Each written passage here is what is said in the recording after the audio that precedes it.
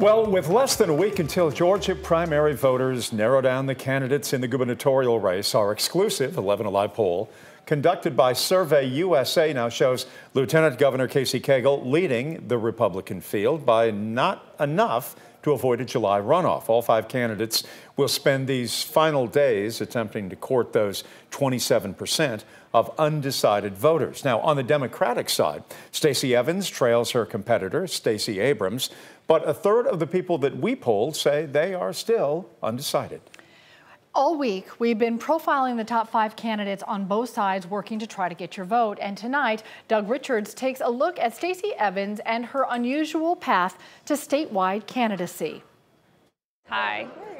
I'm good, thanks. Stacey Evans. Stacey Evans works a room with the ease of a veteran politician. No substitute for hard work. She spent six years in the Georgia legislature and might have steered clear of the governor's race had another candidate chosen to run. I called Jason Carter in the morning. We went to law school together. I've known him forever. I called him in the morning after Hillary lost. Andrew Evans is Stacey Evans' husband. Jason Carter was the Democrat who ran for governor and lost four years ago. And I said, Jason, you got to run again because this is your time, because we finally will have the momentum behind us nationally. Jason Carter, however, declined to run again in 2018. Last year, as Republican Donald Trump ascended to the White House, Stacey Evans attended a fellowship in Europe. Got to pick up some more legislative seats, but we got to get in that governor's office. She stayed gone for over a month, and there she decided to run for governor of Georgia. She phoned her husband from Europe she called me, and then she called some other people, and then she called me again. Are we sure we're going to do this?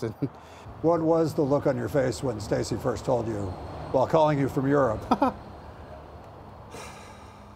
Is this on? Yes. the um, well, it's it's it's something. I mean, initially. Initially, it was my idea. Now, with Evans facing voters next week, the family is all in on the Stacey Evans candidacy. This includes the candidate's mother, who is among the independent voters valued by all politicians. My mom voted for Trump. Mimi did, right? Yeah. And um, I think she uh, she did it out of desperation, and she didn't feel like um, anyone was speaking to her. Stacey Evans has been the underdog in the Democratic primary, facing Stacey Abrams, who has had more national star power. Evans thinks the Democrat who wins Tuesday will be able to flip the Republican led state in November. And now we just have to take advantage of this great climate that's available for Democrats to win. Is it your job to gird the family in case election day doesn't go the way you want it to? We are planning a trip for a week right after the election.